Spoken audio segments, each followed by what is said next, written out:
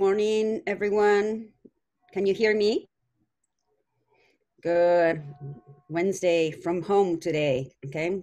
Welcome to my home, and I hope you're you're adjusting to this um, quarantine with peace and serenity, accepting what we have in our hands and making the best out of it. Um, takes an effort, but here we are again together, and I love being with you. As usual, I prepare a PowerPoint. Today is a very special day in history, and I wanted to capture that with some pictures. Um, so bear with me as I open up this PowerPoint. Um, May 13 is a very special day. Our Lady of Fatima appeared to three people, three young people. And he chose very simple people, okay? Hopefully you will see the PowerPoint as we move along, or otherwise I'll get a text saying we cannot see the PowerPoint somehow. Um,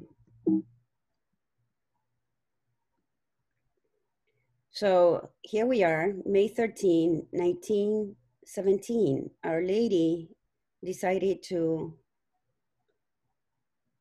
meet three little children in Portugal and ask them to pray for peace. And it was a very interesting apparition because people did not believe that these little children, very simple, uneducated, children who were with their sheep could have seen Our Lady. Eventually, Our Lady decided to reappear every 13th of the month. And there was an apparition in October where the sun seemed to be um, like a wheel of fire turning around, and it was seen by many people. So eventually, people decided that yes, there's something special going on here, Our Lady of Fatima.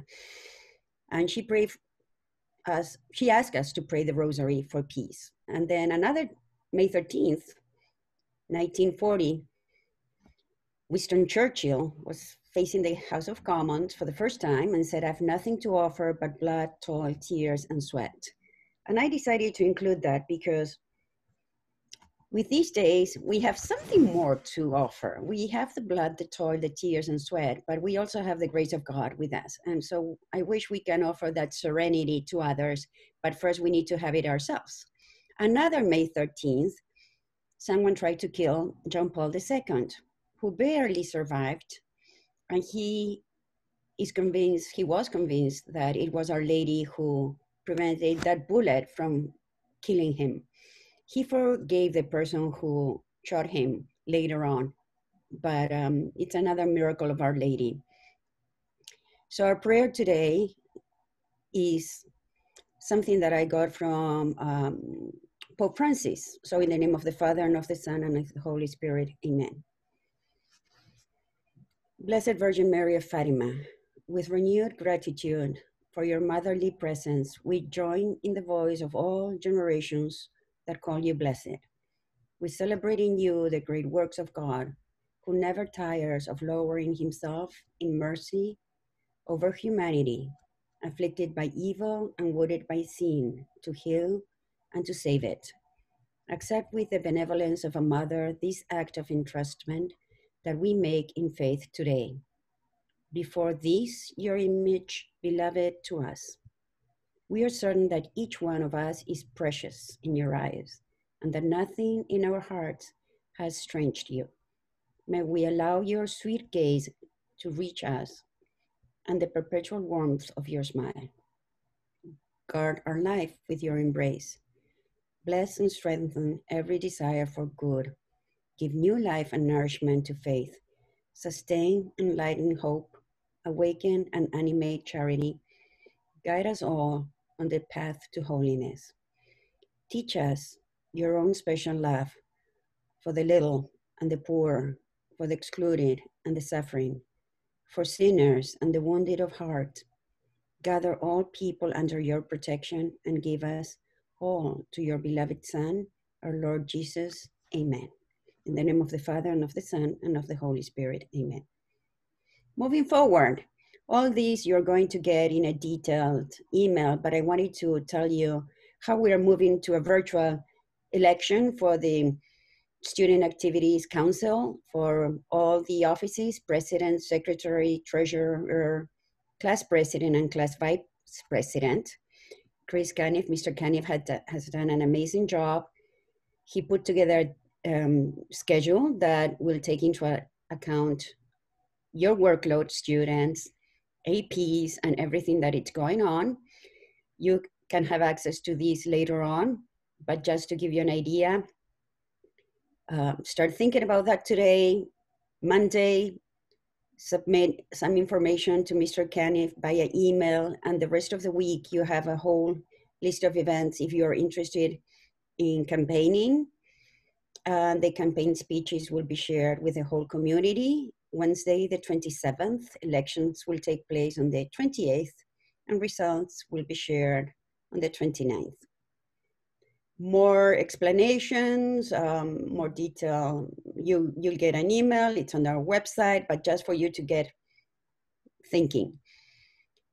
The invitations for the National Honor Society virtual induction ceremony went out yesterday. And the event will be a virtual event. So the invitation has a Zoom link. Uh, Thursday, 6 p.m. Be ready. Friday, this is a fun week. We are going to finish the week with um, an amazing event that the Arts Fine Arts Department has put together, satisfaction guaranteed. That um, you have a Zoom link there. Make sure you show up with your family. This this is something that you will have so much fun, and you will see the quality of the work our teachers and our students do.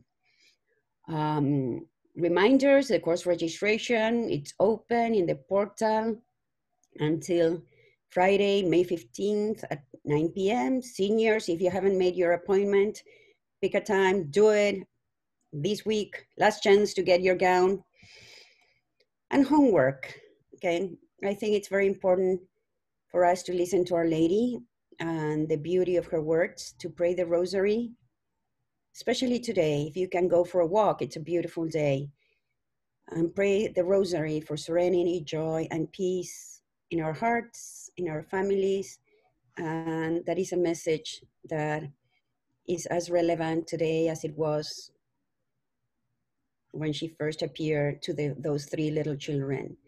And so, my wish to you is peace, happiness, and entrust your worries to Our Lady, to our Lord and have confidence that um, we will be fine, okay? And learn a lot from these. There is a lot to learn.